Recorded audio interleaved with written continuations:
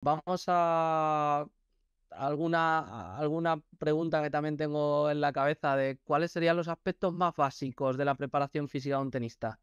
Ya hemos hablado a nivel de prevención, eh, trabajar core, abdominales, tal, eh, prevención, pero además, ¿hay alguna otra cosa? Sí, yo, yo si tuviese que poner un orden y, y elegir cuatro aspectos, yo elegiría en primer lugar, la prevención de lesiones la veo fundamental. Si estás lesionado no puedes jugar, es el, un poco el lema, ¿no? Entonces hay que intentar no, no estar lesionado. Y una vez cumples con eso, yo creo que el segundo factor por el tenis, cómo ha evolucionado, es la potencia muscular. No estoy hablando de fuerza muscular, estoy hablando de potencia.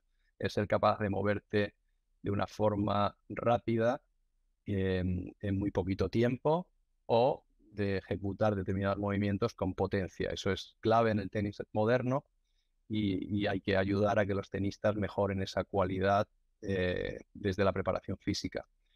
Eh, yo creo que la el otro factor también eh, que pondría quizás por orden es la, parte de recuperación. sé que puede chirriar un poco que meta eso entre medias, pero creo que hay que ayudar, hay que, hay que ayudar, hay que ayudar a los tenistas a que se recuperen bien después de las sesiones de trabajo, después de la competición. Y eso es un trabajo también de, de, preparación física en cierta medida, ¿no?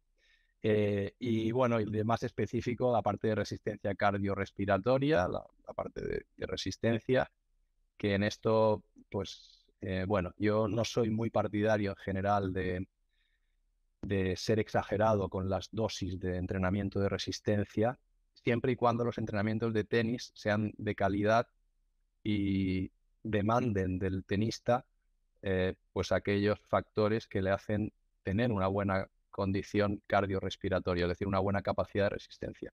Con buenos entrenamientos de tenis o programar determinadas sesiones de tenis físico en la pista, más alguna sesión fuera de la pista, es suficiente para poder tener esa, capacidad a un nivel alto, básicamente porque cuando tú juegas a tenis, estás trabajando esa cualidad eh, diariamente. Entonces, someterle a unas cargas muy grandes fuera de la pista de tenis, eh, yo no soy partidario, a no ser que sea una debilidad del tenista que haya que mejorar, ¿no? Si es una debilidad del tenista que hay que mejorar, entonces se hace. Pero yo me centraría más en estos otros factores que comentaba antes.